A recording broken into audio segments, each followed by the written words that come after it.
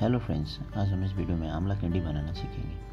आप घर में ही बैठे आसान तरीके से इसे बना सकते हैं। चलिए शुरू करते हैं।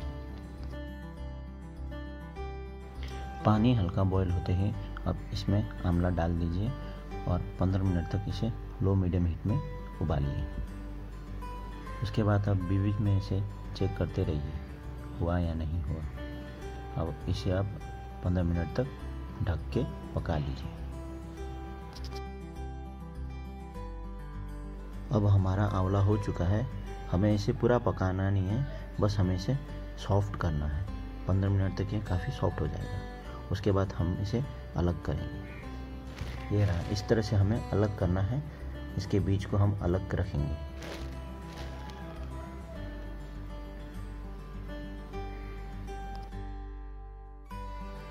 हमने अलग करके रख दिया है। अब हम इसे चाशनी में डुबाएँगे। चलिए अब हम चाशनी बनाते हैं।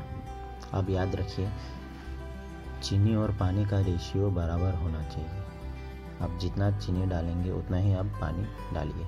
अगर आप पानी ज़्यादा डाल देंगे तो चाशनी को गाढ़ी बनने में बहुत टाइम लग जाएगा। इसलिए आप देखिए, हम जितना चीनी डालेंगे, उतना ही पानी डालेंगे, जिससे आपका चाशनी जल्दी ही गाढ़ा बन सके।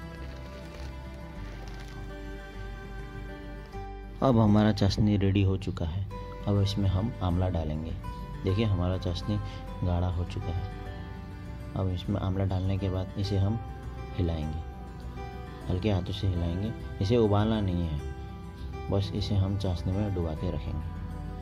आप करीबन इसे चाशनी में डुबाएँगे तो करीबन आप इसे दो या तीन दिन तक रखेंगे।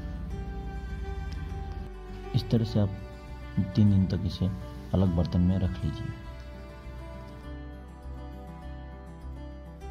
ये रहा हमारा आंवला हो चुका है।